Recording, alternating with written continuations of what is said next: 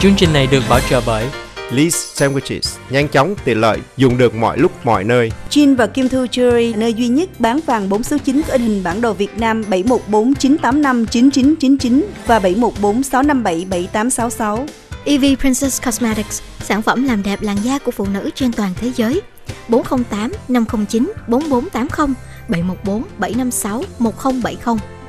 Tiệm bánh mì và bánh bao Bao and Baguette 714 617 5611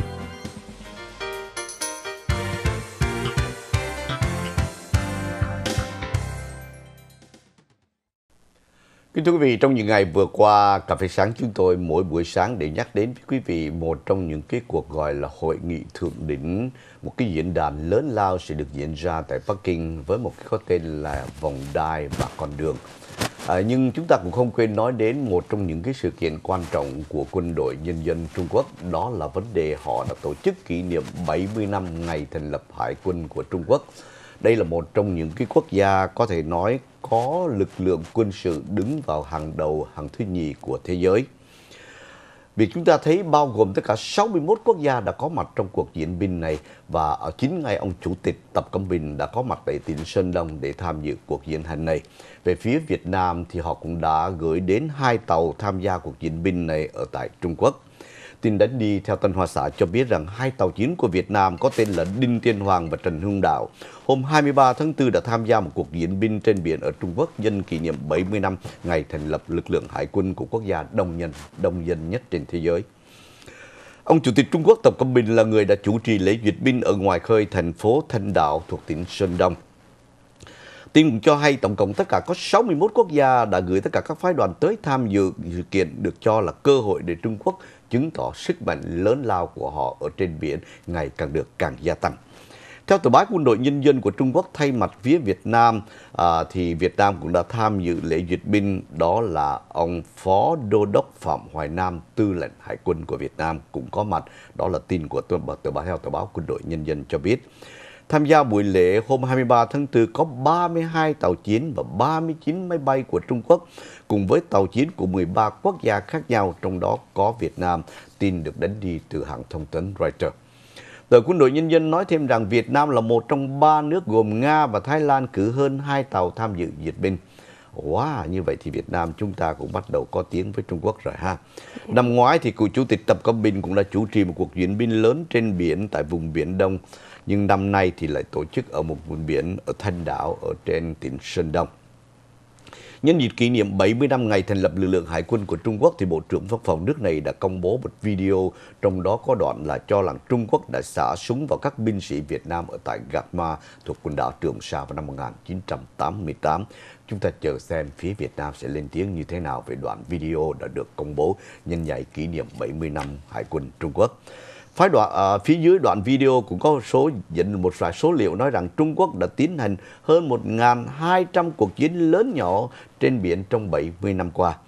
Hải chiến Gạc Ma đã diễn ra vào năm 1988 là một cuộc chiến chớp nhoáng nhưng đẫm máu, cướp đi sinh mạng của tất cả là 64 binh sĩ Hải quân Việt Nam. Và đó là một trong những sự kiện rất đau lòng cho tất cả những người mà đã từng chiến đấu ở tại Trường Sa, đã chịu khuất phục ở dưới gọi là cuộc tấn công có tính cách quá biểu lộ chế độ bền trướng của họ ở tại Trường Sa. À, kính thưa quý vị, đó là một vài sự kiện mà sáng nay nhân cà phê sáng chúng tôi muốn gửi đến quý vị tất cả những sự kiện diễn ra ở tại biển Nam Hải để quý vị thấy rằng nhận định được rằng tình hình ở biển Đông không phải là một cái sự một cái sự kiện yên lặng và hòa bình. Có thể đây là một trong những cái cơn gợi sóng và đã làm lên có thể gây nên những cái cuộc gọi là tranh chấp và đi đến chiến tranh giữa hai quốc gia. Bây giờ thì quý vị cùng với Như Hiền trở lại tất cả những sự kiện mà những ngày vừa qua chúng ta cũng nói đến rất nhiều, đó là hãng Boeing. Thế bây giờ việc trước tiên hãng Boeing doanh thu của họ như thế nào thưa Như Việt? Thưa quý vị, sau hai vụ tai nạn xảy ra của Boeing là ảnh hưởng tới doanh thu của Boeing rất là nhiều. cái vụ tai nạn 737 và tất cả những hãng máy bay, những chiếc máy bay 737 MAX 8 đã bị grounded là không được sử dụng nữa của Boeing và doanh thu của Boeing giảm giảm xuống 2% xuống chỉ còn 22.9 tỷ mà thôi. Và theo thông tin cho biết rằng cổ phần của Boeing đã giảm xuống 11% kể từ khi tai nạn của của Ethiopia đã xảy ra và tất cả những cổ phiếu của Boeing đã giảm rất là nhiều và trong cái việc cắt giảm trong sự giao hàng của 737 MAX đã giảm tới 10 tỷ đô la của Boeing là cắt giảm doanh thu của Boeing rất nhiều kể cả những cổ phần và những người đầu tư cho hãng Boeing cũng bị giảm cũng ảnh hưởng tới những cổ phần và những cổ phiếu của Boeing. Như quý vị đã biết, hãng Boeing trong những năm gần đây đã sử dụng tiền mặt được tạo ra bởi nhu cầu cung cấp 737 và đây là một trong những vấn đề đầu tư công nghệ máy bay mới và mua lại hàng chục tỷ đồng cổ phiếu của tất cả các chín máy bay được giao lại cho hãng hàng không của các chính phủ, của cả hãng khác. Tóm lại, sự chậm trễ trong việc giao hàng 737 MAX có thể cắt giảm tới 10 tỷ đô la như như Huyền đã trình bày lúc ban nãy và tiếp dẫn các nhà phân tích, khi kết quả của Boeing chưa được công bố thì có thể nói có thể làm cho đình trệ tất cả các vấn đề thương mại của Boeing. Một trong những hãng hàng không nổi tiếng đó là American Airlines đã mở rộng máy bay phản lực Boeing 737 MAX 8 đến hết ngày 19 tháng 8 đội tàu 737 MAX vẫn còn có căn cứ và việc giao hàng mới bị đình chỉ. Vào đầu tháng nay Boeing đã chỉ phiếu xuống còn có 42, việc giao hàng đã giảm xuống 149 máy bay thương mại trong quý đầu tiên. Và chắc cổ phiếu của Boeing là giảm tới một con số kỷ lục là lên tới 11% kể từ khi tai nạn Ethiopia và ờ, ở tại Jakarta.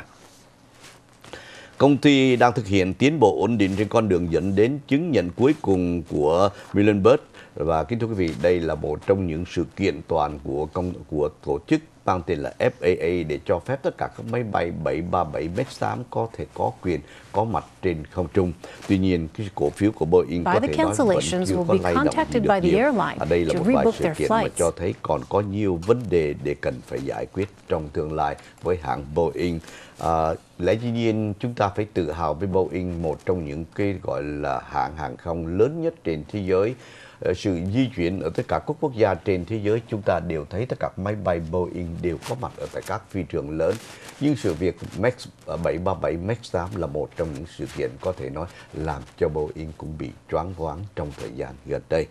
Bây giờ thì như Hiền theo dõi tất cả những cái tin địa phương cho thấy rằng một trong những sự kiện mà chúng ta không thể chờ đến ngày thứ sáu để hỏi bác sĩ Michael Đào đó là vấn đề bệnh sởi phải không? Dạ, Hiện thử... nay thì bệnh sởi cũng đang lan tràn di, di chuyển ở